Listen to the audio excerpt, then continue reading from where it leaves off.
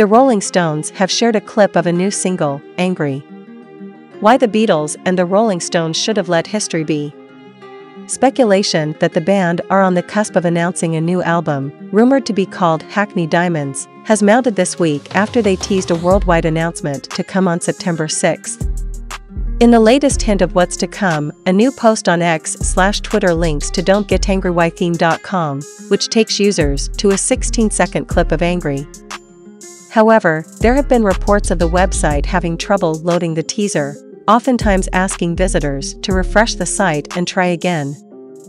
Many fans have pointed out the issue to the Rolling Stones, whose social media manager has responded to the complaints with Don't get angry with me, rather than offering any help. This potentially raises the possibility that the glitch was intentional. Hackney Diamonds would be the first new Stones album of original material since 2005's A Bigger Bang, and their first music since the death of drummer Charlie Watts, who passed away in 2021 at the age of 80. Last month, it seemed that the band announced their new album in a local newspaper. A print commercial for Hackney Diamonds appeared in the Hackney Gazette. Hackney Diamonds advertised itself as a company that specialists in glass repair.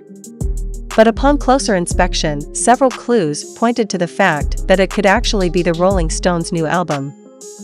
Firstly, in the title their iconic tongue logo is used to dot the I in the brand name Diamonds, while the advert's body text makes several references to their hits including I Can't Get No, Satisfaction, Gimme Shelter and Shattered. The font used for Hackney Diamonds was also the same as the one used on their 1978 album, Some Girls, and the ad also said established in 1962, the same year that band formed.